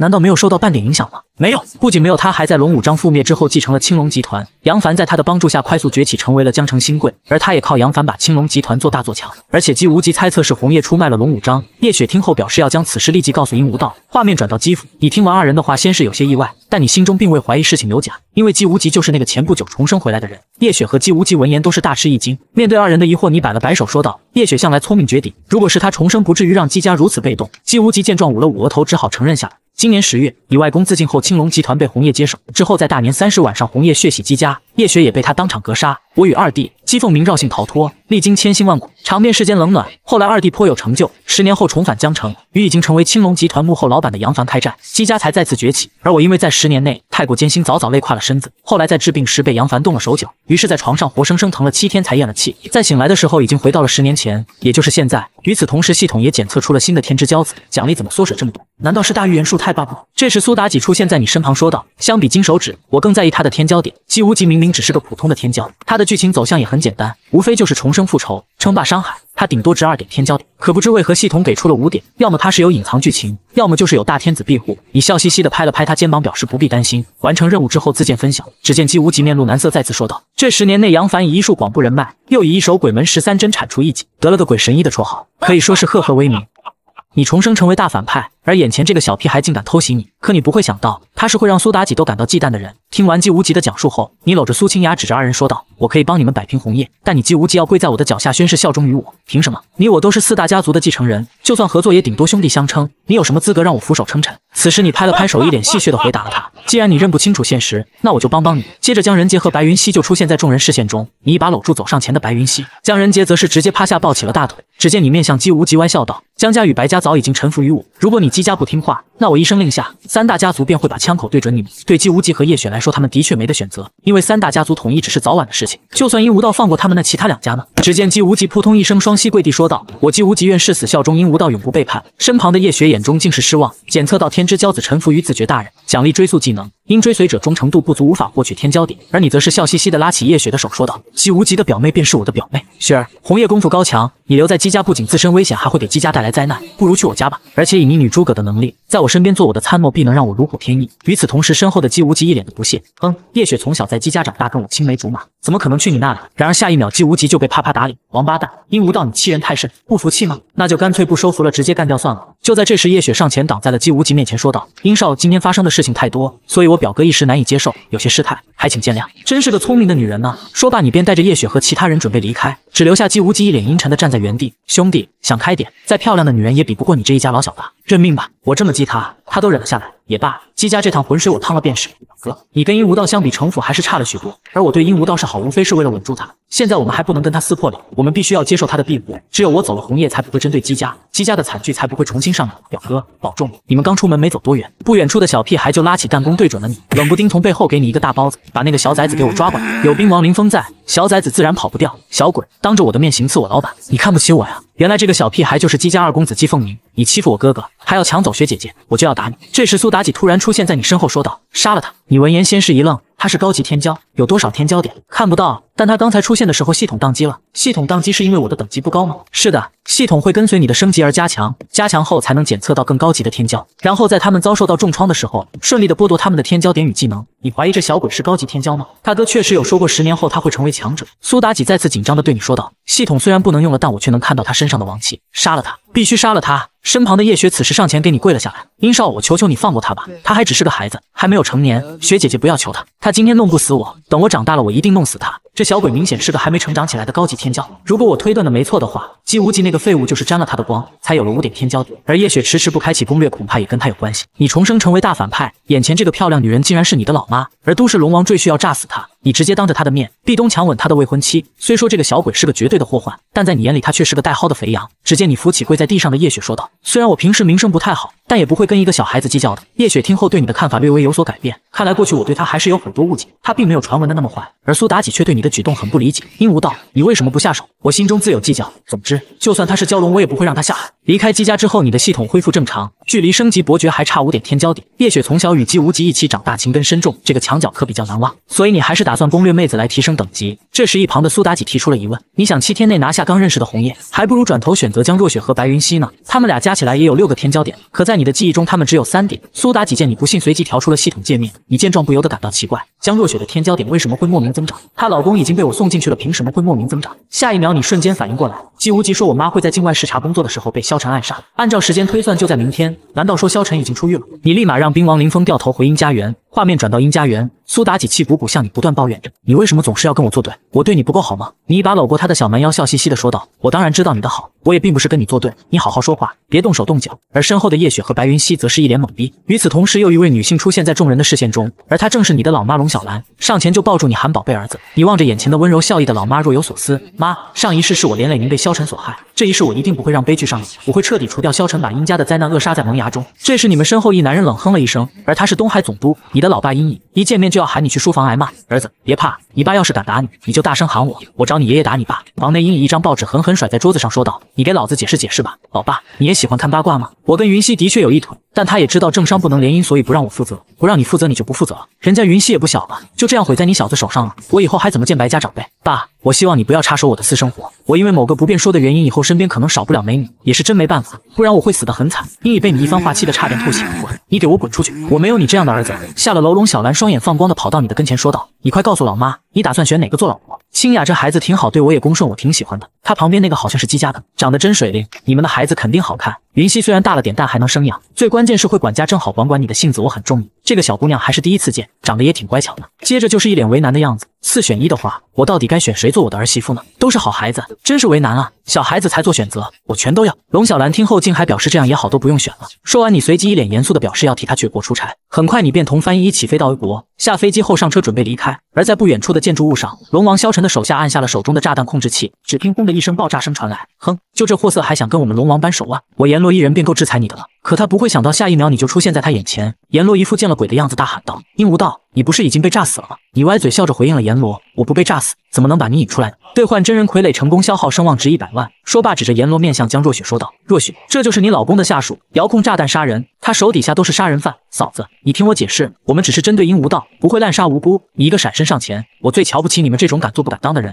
刚才车上的翻译跟司机不是无辜的吗？”说罢，瞬间甩出薛夫人直刺阎罗，区区飞刀也想取我性命？鹦鹉道，你也太小瞧我了。紧接着掏出双枪，刚想开枪，就被站在不远处的林峰一枪爆头，随后又是砰砰几枪，避免诈尸，干掉龙王手下，掠夺一点天骄。我明白了。萧晨作为堂堂龙王，之所以只有一天骄点，是因为他剩下的天骄点分布在手下三大干将身上，而天之骄女的点数与他们的真命天子相匹配，这也是清雅为什么会有隐藏点数的缘故。你们将计就计，赶到龙王指定的酒店，而这里就是萧晨在一国的老巢。房间内，江若雪一脸愤怒地向你骂道：“你带我来不是收购锂矿的吗？为什么萧晨的手下会在这里？你明明就是故意让我难堪。”而你则是戏谑地勾起他的小下巴，说道：“锂矿当然要收购，但我们与萧晨的恩怨也要画上句号。你知道萧晨正监视着你们的一举一动，于是故意粗暴地按住江若雪的双手，紧接着对着她的红唇就吻了下去。另一边的萧晨见状，满脸的黑线，随即转身对着众多龙崽子下令：去把他们都给我带过来，我要在若雪面前活剐了阴无道。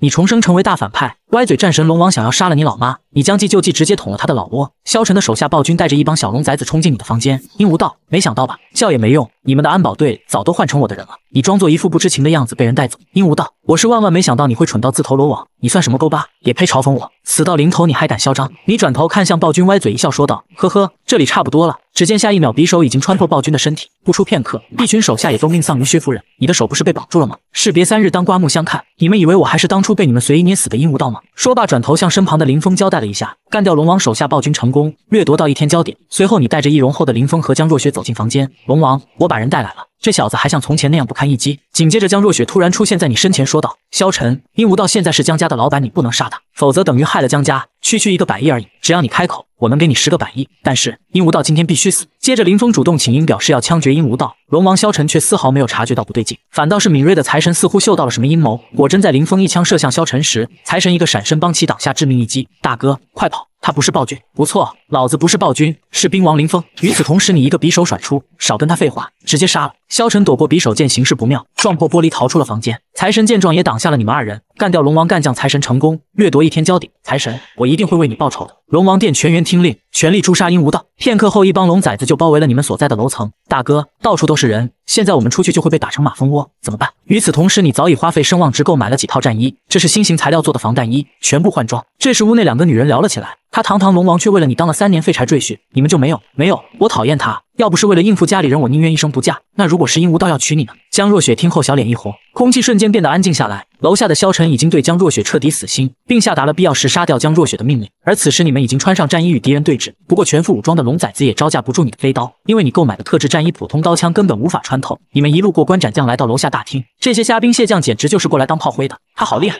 老板比以前更强了，难怪能统治四大家族，果然有过人之处。四人终于跑出酒店，来到室外，不料这时半路杀出来一个红叶，显然他是冲着克他的煞星叶雪来的。叶雪，你这个煞星今天就去死吧！可他不会想到你闪身挡在了叶雪身前，他的刀法可不是普通的一击，直接穿透划伤了你的后背。检测到玄鸟战衣受损严重，请及时避战修复。你身为反派却屡次夺天道之气，就连老天师都被你的邪气逼得口吐鲜血，以为就叶雪受了点轻伤。鹦鹉道，你又坏我的好事。红叶，你可真是执着，竟然追到了我。红叶没有理会，直接跳起正想一刀劈向，不料下一秒就被一枪击中。原来是龙王萧晨带着手下们赶了过来。鹦鹉道是我的，我要亲手结果了他。抢在我前头的都要死。与此同时，你的眼神中满是杀气。你杀了红叶，毁了我的天骄点，我要把你碎尸万段。萧晨见状，也是几枪喷向你的身体。警告！警告！玄鸟战衣严重受损，即将失去防护作用，请及时避战。警告！玄鸟战衣已失去防护效果，请宿主耗子尾之。萧晨本以为这次终于可以干掉你了，但下一秒他才发现手中的霰弹枪早已没了子弹。呵呵，萧晨，到我。接着你毫不犹豫一刀抹了他的脖子。同时，兵王林峰发现红叶还活着，但诊所内的医生却表示他失血过多，自己也是有心无力。有些上头的你还想和医生谈谈，却被林峰拉了回去。吴道，你冷静点，这时候不能乱，越乱越什么都解决不了。林峰说的没错，我要冷静，一定还有办法。他是真的很怜香惜玉啊。我觉得他更是重情重义。这时你转头对众人说道：“你们都出去，明天早上再来，我要亲自救他。成与不成就看今晚了。我虽然没有做过手术，但我已经融会了现代医学天赋与鬼门十三针，救人应该不在话下。先用鬼门十三针护住你的心脉，这样做手术的成功率就大大提高了。”于是你开始动手取出他体内的子弹。片刻后，红叶渐渐醒了过来。没想到你连手术都会，真不像是个纨绔子弟。别说话，节省力气。你失血很多，这里又没有血浆，我怕你血压撑不住。生死有命，富贵在天，我死了也好。省得被叶雪那个天煞孤星克死。我虽然不知道你们之间到底有什么深仇大恨，但一切都等你醒来再说吧。你想帮其褪去上衣，却被红叶一把抓住，娇羞的怒斥道：“我刚夸了你一句，你就原形毕露了吗？你不嫌我现在这样子埋汰吗？”你一脸认真的表示不嫌弃。不久后，你将其体内的残片全部取出，却发现他失血过多，已经处于休克的状态。不一会儿，红叶渐渐睁开了双眼。我没死吗？流了那么多血，我以为我死定了呢。是他是他用自己的血。红叶起身，轻轻推了推你的肩膀，吴道，到床上去睡觉吧。与此同时，你发现红叶对你的好感度已经高达九十三，不错，这一晚上又是手术又是输血，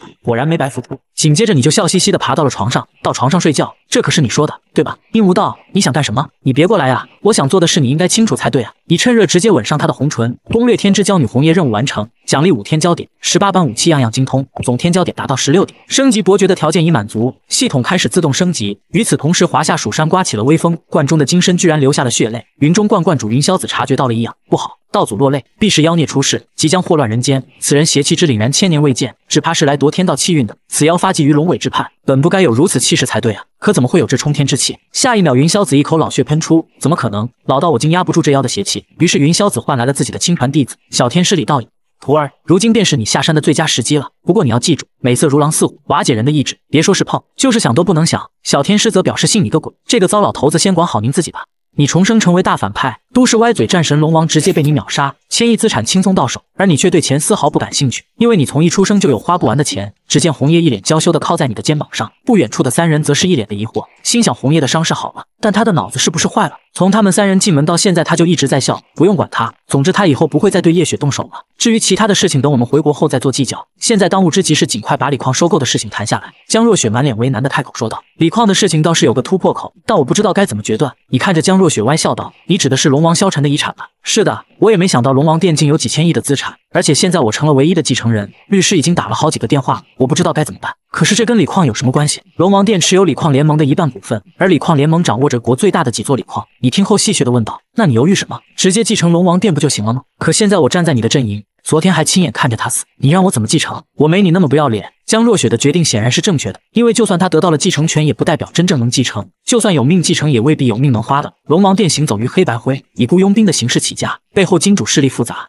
在一国更是牵扯极深，甚至掌握着许多大人物的秘密。这样的组织一旦萧晨那样的灵魂人物消失，没有其他镇场子的人出现的话，用不了多久就会分崩瓦解。这时林峰也表示确实听战友们讲过龙王殿的故事。江若雪听了你的一番话，心悸不止。我早上竟然没出息的犹豫，这要是真的接受了，估计明天就会横尸街头。还是跟着鹦鹉道这个混蛋靠谱点。江若雪明显有些慌乱，不知所措。而你给他出了一个好主意，那就是所有遗产上缴国家。画面转到科西的一处海滩，陆曼带着有关部门的人员会面江若雪。这是国内最大的三座锂矿，是给你的回报。江若雪被这丰厚的回报惊住了。这是几千亿买了个护身符吗？鹦鹉道，谢谢你为这件事牵线搭桥。你不愧是老领导的孙子。以前我对你多有偏见，过去的事情就不要再说了，以后对我好点就行了。好，那我们国内见。与此同时，兵王林峰出现在你背后，说道：“你为什么不把萧晨的事情告诉他？他的失职差点害死你，急什么？山人自有妙计。陆曼历经了所有难主，却经久不衰。他的身上不可能没有天骄点，而且绝不会少。我就惯着他，就让他欠着我。到时候我帮他回忆回忆晴天的事，萧晨的事，看他拿什么还我。”这时，江若雪走上前对你说道：“殷少，这三座锂矿是属于你的，属于我。不来国外收购锂矿，只是觉得赚鬼佬的钱比较爽。我想要的是爽，而不是钱。爽，他想爽，而不是钱。既然他不爱钱，那他为什么要在我身边安插小命？这件事我始终想不通。你是个大反派，拳王奥尼竟敢嘲讽你是个细狗，还扬言把你的奥利给打出来。你一个踢拳教他做人。今日的科西海滩热闹非凡，锂矿联盟的主要股东拳王奥尼正在那里打拳。他每周都会来这片沙滩上打野拳，没人能打得过他。只见他嚣张的对周围的人说道：“他是今天我打倒的第十九个，你们真是弱爆了！接着来呀，你们还有谁愿意上来跟我打？打赢我赏金一千万，而且只要跟我打平，就算你们赢。”这时，你和兵王林峰走上前说道：“钱太少了，没有兴趣。你的意思是我把赏金加到上亿，你就敢来挑战我？当然不敢了。但我的保镖可以把你打得满地找牙。哼，那我就把赏金加到一个亿，我要打到你们跪地求饶。”说罢，二人同时出拳打向对方，双拳碰撞，林峰竟被对方震飞出去，好强的力道！这奥尼号称人形袋鼠，是国拳坛的知名冠军，看来果然不假。林峰虽强，但纯力量只怕没法跟他一直硬刚。奥尼乘胜追击，更是用出看家本领——飓风拳。不过林峰也趁机找到奥尼的破绽，一记重拳将其打吐了血。可恶，你这小子……幸亏上次吴道给我吃了龙精虎猛丸，要不然我真挡不住。与此同时，你突然冒出来挑衅道：“说好的打平了就拿钱，你不会想赖账吧？你们国人都这么言而无信吗？就这还好意思摆擂台呢？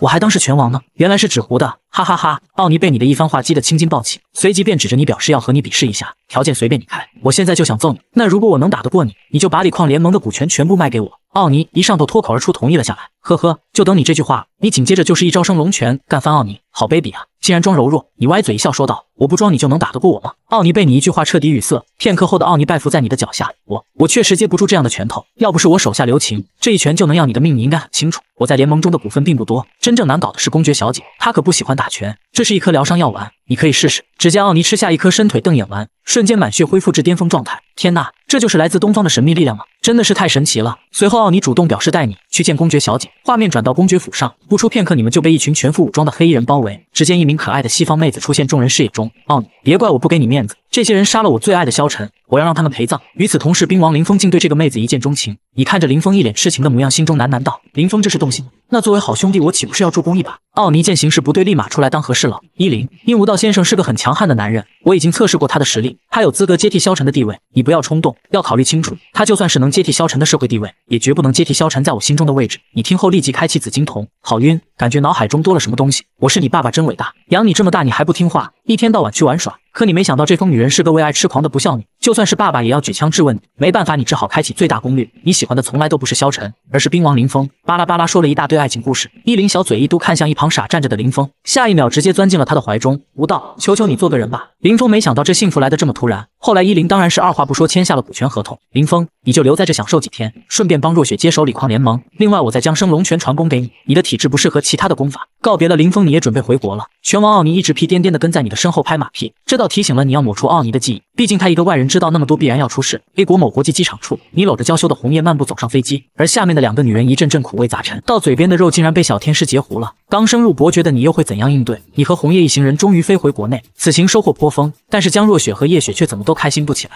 与此同时，杨凡竟也出现在了机场。红叶见状，一脸紧张的向你解释道：“不道，你不要误会，只是他救过我的命，所以我……而你则表示理解。”只见红叶迅速跑到杨凡身前，大声说道：“杨凡，你不要送我玫瑰花，也不要表现得这么亲热，我怕殷无道会误会。”杨凡则是一脸的懵逼，就出了个国，红叶怎么变得这么像着殷无道？他不会想到，下一秒红叶就扑进了你的怀中，而你注意到杨凡此时心灰意冷，正是出手干掉他的好时机。不过怀中的红叶却对你说道：“吴道，你可不可以答应我，不要伤害杨凡的性命？他毕竟救过我，而且本性也不坏。”你勾起红叶的小下巴，凑近说道：“既然你开了口，我当然没问题。不过嘛，你准备怎么谢我？”红叶小脸一红，当即表示随你处置。画面转到青龙会所，此时的红叶已经被你五花大绑在床上。与此同时，会所门口处，江仁杰带着失忆的杨凡来此寻欢。几瓶酒下去，他被灌得神魂颠倒。正当女人上下其手时，扫黄大队十分准时的冲进了房间。就这样，神医杨凡就获得了一个新称号——庸医害人 PC 达人。而这一幕被楼上的红叶尽收眼底，只是他不知道，其实设计杨凡的那个人就是你。我观兄台印堂发黑，你完功大开。此乃气运外泄之兆，兄台最近莫不是遇上了什么大劫？最近干啥啥不顺，不是被人截胡，就是被人暗算。小天师掐指一算，说道：“邪气压境，正气退避。老兄这是被人算计，只是算计你这人了不得，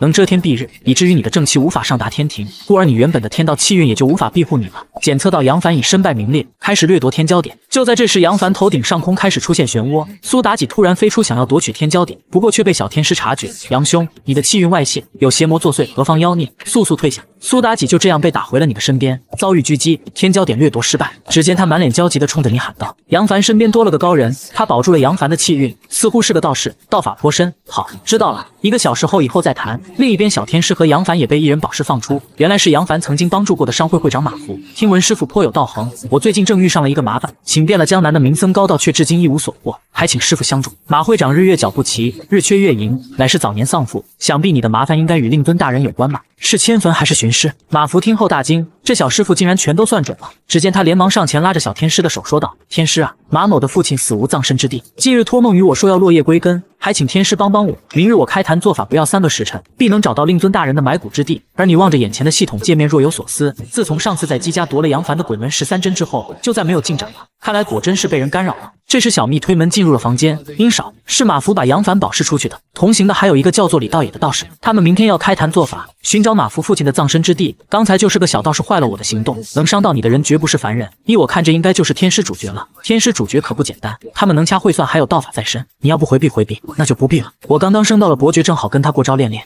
俗话说，三个女人一台戏，看看这三个天之骄女在一起有多八婆。江若雪看着你们离开的背影，心中又是五味杂陈。这么快就出来了，殷无道不像是快男，这说明两人在里面没有苟且。你佯装对钱不在乎，却让小蜜监视我。刚才他就是在给你汇报我的情况吧？你为什么要这样对我？我明明都完全向你敞开。渣男！然而这都是他自己想多了，你只不过是带小蜜回家吃个便饭罢。画面转到你的海边小别墅，只见小蜜一脸嫌弃的说道：“吴道太相信那个江若雪了，把所有资产都交给他打理，我必须得盯着点，要不被他全部卷走了怎么办？”这时苏清雅也附和道：“就是那个女人衰得很，老公都给克死了。”主播寻潇潇也表示自己不喜欢江若雪。喂，三个女人一台戏，你们是在唱大戏吗？接着把一张卡递给一旁的寻潇潇说道：“这是我在 A 国时拍的视频，你放到短视频平台上，说不准还能涨点粉。哎，就剩下八十万声望值了，干啥都不够。早知道去。”国的时候就带上这丫头。饭后，寻潇潇和小蜜来到剪辑室。寻潇潇看着屏幕中如此激烈的打斗，赞叹不已。小蜜则是一脸的担心：这能播吗？这应该都是他按照剧本拍的，属于网剧，当然能播了。小蜜闻言不再作声。潇潇要是知道殷无道小时候经历了什么，就不会认为这些是假的了。经过寻潇潇剪辑后发布的视频，立马吸引了众多粉丝和路人的关注和赞赏。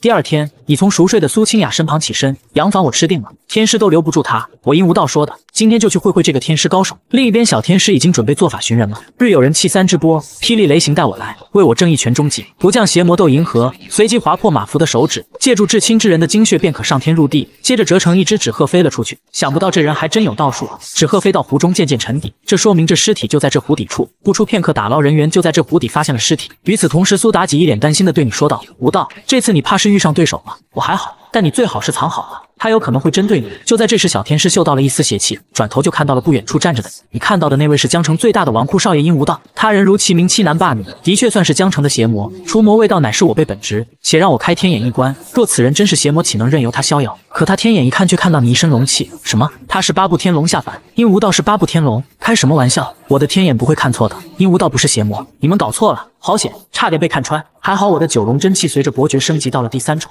你敢信这个油桶装着一个死人？马福见状，立马开始破口大骂。不过当他看到桶上的三个大字时，立马跪地大哭了起来。原来里面的白骨是他失踪多年的父亲。而你见此情景，不禁感叹起来：油桶装尸，陈江树尸在，这是个大案子啊！很快，特勤队的人赶到，封锁了现场。而陆曼没想到你和李道也都想插手这个案子。李道也是发现尸体的人，又受到马会长的委托，所以他想申请调查这起案件。而对于路过打酱油的你，陆曼却是一脸没好气。他以理由不充分，果断拒绝了你。而你则是直接上前拉起他的小手，一脸认真的说道：“陆曼，我知道这起案件十分棘手，你肯定会忙得昏天黑地。你已经很久没有休假，我实在是心疼你，想让你轻松点，没别的想法。”陆曼被你这突如其来的举动整得一脸娇羞，随即向你妥协，答应了你。好了好了，你想帮忙也行，不过不能捣乱。好啊，我正好害怕你们会拖慢我的节奏，想单独调查呢。身后的李道也和杨凡见状有些急了。殷无道，我还从来没见过你这么嚣张的人，是吗？今天你就见到了呀。就算你是八部天龙下凡又如何？跟我比，你还不够格。初出茅庐，觉得普天之下你最大，你缺少的是社会的毒打。检测到新的天之骄子李道隐，任务摧毁金身，奖励七天焦点五雷真经。片刻后，小天师手掐符纸开始他的表演。此乃子母追魂符，有了它，我便能感应到犯下此血案沾染了业障的人。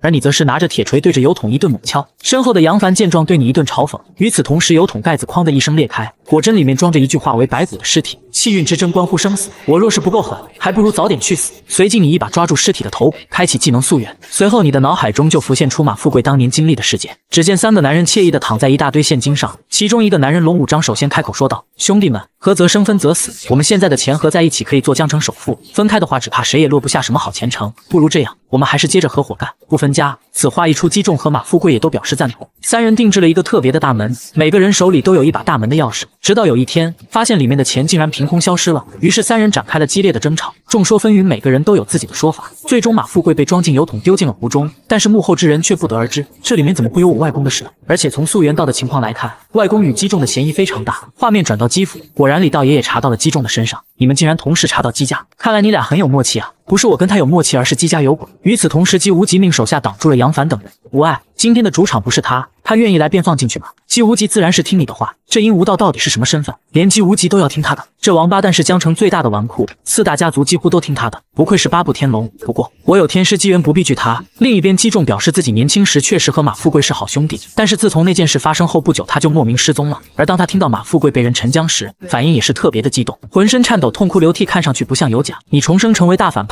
都市天骄小天师竟要逮捕你的外公，你直接夺了他的天道之气，赶出江城。在确认击中不是凶手之后，小天师起身准备去调查另一个嫌疑人，而另一个人正是你的外公龙武章。只见李道爷转头冲你歪笑道：“殷无道，你可要抓紧了。虽然我相信主角不会判断失误，但我还是要确认一下击中的情况。”姬爷爷，节哀顺变，我一定会找到凶手的，并趁机用手捏住击中的手，开启了溯源。原来击中目睹了外公和马富贵大吵了一架，而且外公还动手打了马富贵，这也使得多年来击中一直怀疑是你外公龙武章杀害了马富贵。不会的，我外公虽然不是大善之人，但谋财害命、背刺兄弟的事情他是绝对不会做的。与此同时，杨凡和小天师却在青龙集团吃了闭门羹。我认识你们红叶总裁，就放我进去吧。这时你也赶到了现场，你们来的早又如何？不还是连门都进不去吗？我打听过了，这座府邸的主人身份不凡，就算是大人物来来了，也不是想进就能进的。你这么嚣张，难不成你能进去？你冷哼一声，与他擦肩而过。只见众人鞠躬，对着你喊道：“恭迎少爷回家。”说实话，李道也这打脸打得有点快。可陆曼却上前阻拦了你。应无道，因为这起案件涉及到你的亲人，我要求你回避。你直接甩开他的手，表示已经晚了。庭院中的龙武章听到马富贵死讯后，一脸的淡然。